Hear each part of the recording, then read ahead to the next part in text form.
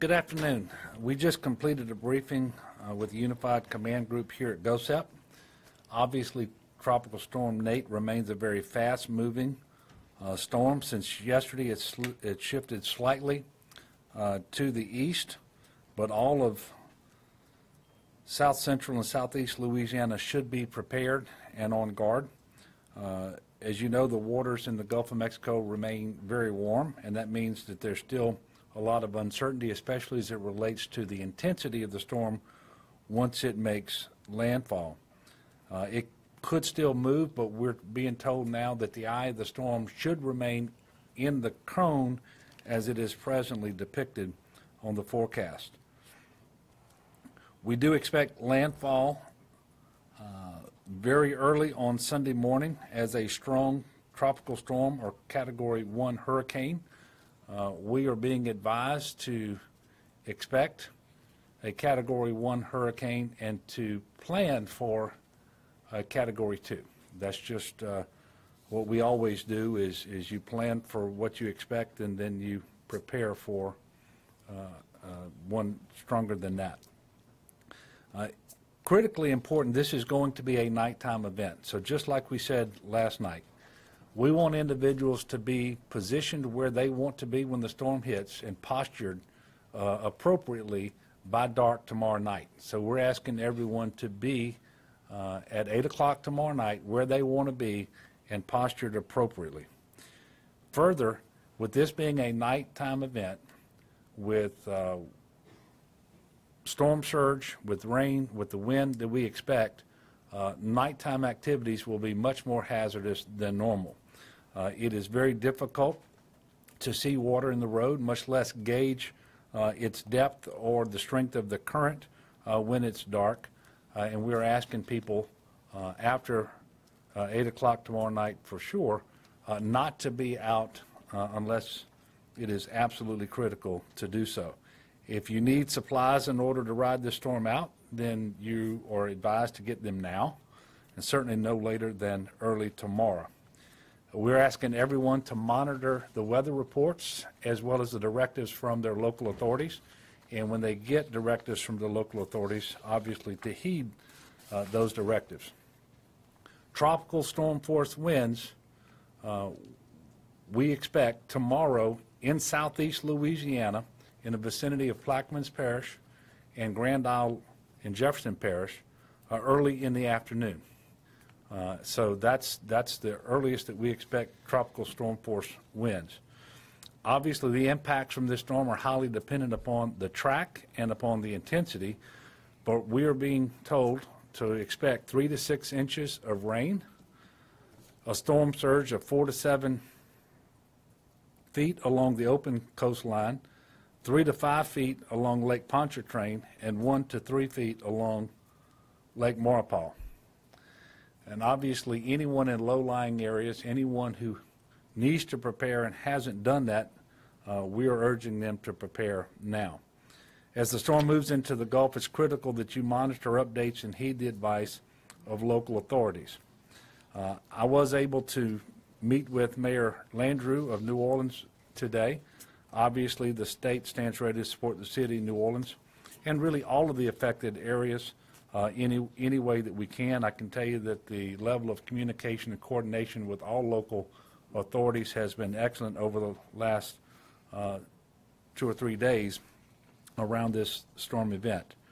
Um, New Orleans did just uh, shortly ago announce a 6 p.m. curfew uh, for tomorrow evening.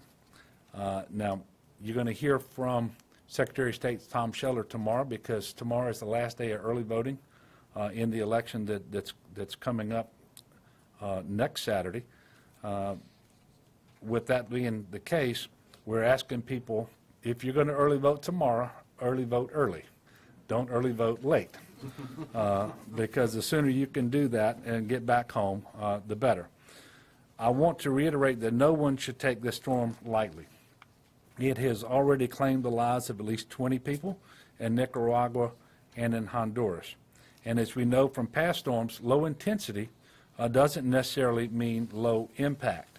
Uh, And I will remind everyone again that Isaac in 2012 was a Category 1 storm, and yet we had flooding in areas that had never flooded before.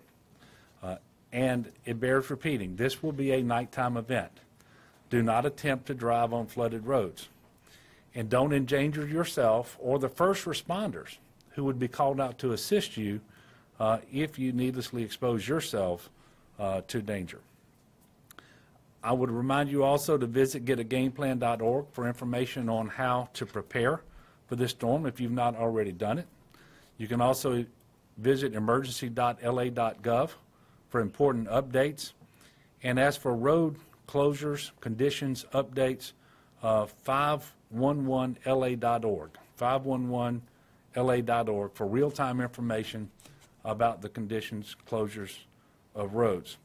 Now, our next briefing will be tomorrow morning. Uh, We will send out a notice uh, in the morning of the exact time, but I think you can expect that that press conference will happen right around noon, uh, following the next meeting of the Unified Command Group. Uh, So at this time, I'm going to be followed by Secretary of State uh, Tom Schedler, and after that, we will take your questions. Thank you, Governor.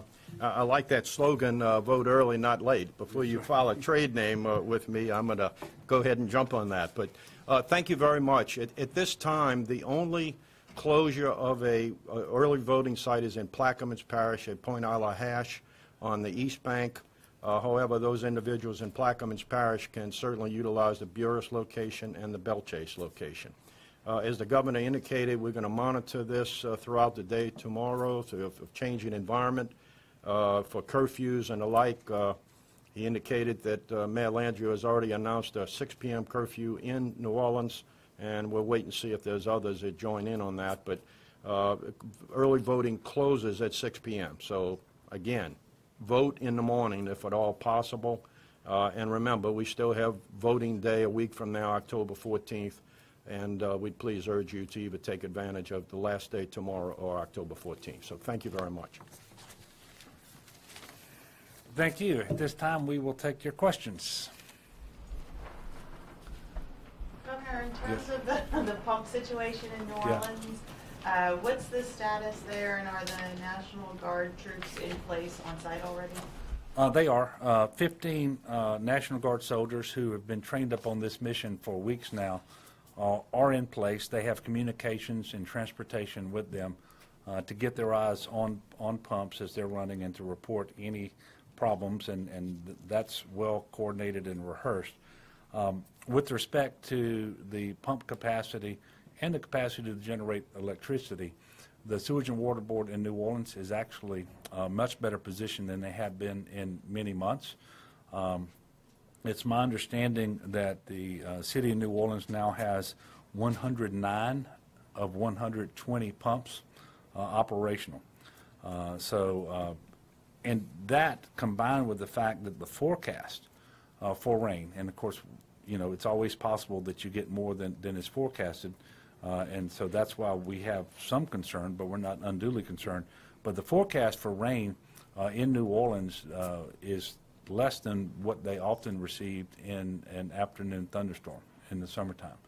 Uh, And so while there might be some isolated areas of, of street flooding until the pumps can pump the water down, uh, at this point, we don't uh, see uh, much happening beyond that in New Orleans. Any other questions? Yes, ma'am. Has the National Guard, since they've been watching today, seen any problems? I, I am unaware of any, of any problems. I, I'm not, sh- uh, you know, it, it, the weather has been so good today, I can't imagine that they, they would have seen any, any issues in New Orleans. Any other questions? Yes, ma'am. Are you all helping at all with the catch basin clearing? Well, the Department of Transportation, I've got Shawn Wilson here now, and he can tell you what, what, I know that, that they have been working uh, across South Louisiana uh, to clean uh, catch basins and make sure that drainage along state roads uh, is flowing as freely as possible. With respect to assistance, and I'm assuming your question was in New Orleans? Sean?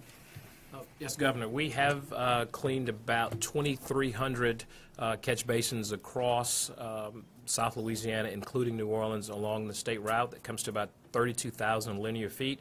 Uh, So we're pretty comfortable with uh, what we've cleaned, and we clean on a regular basis around the state, but we did take some emergency precautions and did some emergency contracts at the earlier part of this hurricane season uh, to be able to do a more robust cleaning. And um, the vast majority of them were, were well cleaned and didn't need any extra cleaning. We had maybe less than 10% that needed some level of cleaning uh, through that process. But all the state routes uh, in the city of New Orleans, uh, and I know the city's been working on that as well on, on local streets.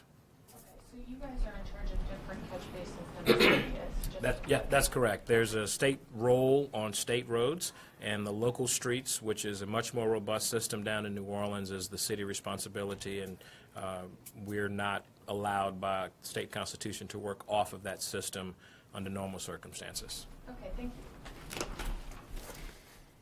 Any other questions? Governor, I guess I have the same question that I, I sort of had yesterday. Um, now that the storm is shifting, is there any concern about complacency and people not kind of following the, the, the things they're hearing from their local officials? Well, you always have concern about complacency. Um, First of all, if, if the storm just remained a tropical storm, it has the potential to do an awful lot of damage and expose a lot of people to injury or death. Uh, the storm has already killed 20 people. Uh, now, given that, the intensity of the storm as it makes landfall is a, is a guesstimate. Now, they know uh, an awful lot these days, but, but the National Weather Service will tell you they are much more confident in the track that they predict than they are in the intensity, especially more than 24 hours out. The storm is not yet over the Gulf of Mexico. Uh, the waters remain very warm. Intensification is possible uh, because the energy from that water will, will uh, energize the storm. What we have going for us is the fact that the storm is moving forward at such a rapid clip. Uh, right now, 21 miles per hour, and it's not scheduled to, to slow much. Um, it- but it is still true that they can predict the track much better than they can trick, uh, predict intensity. Uh, so we expect that this will not be primarily a rain event. It will be primarily a wind and storm surge uh, event. But those things uh, cause an awful lot of problems. And I will remind people that in the flooding we had here last year, most of the injuries and fatalities came because people were driving through water uh, that was deeper than they thought it was, and they just were not able to successfully navigate through that. That hazard is very much in play for this storm. And so it's always a concern of ours that people will, will not take the storm as seriously as they should. Uh, that's why we're giving the sternest possible warnings and asking people uh, to be as cautious as they possibly can and to remember that this is going to be a nighttime event. Everything is much harder at night under any circumstances, but especially when you have rain, uh, wind, and storm surge all converging at the same time. And as you all know, uh, we already have uh, waters standing uh, in certain areas of South Louisiana along the coast and, and the lakes uh, much higher than normal. And, and so uh, we, we do want people to be very, very cautious and not take this storm for granted and to remain uh, engaged. Watch the Weather Channel.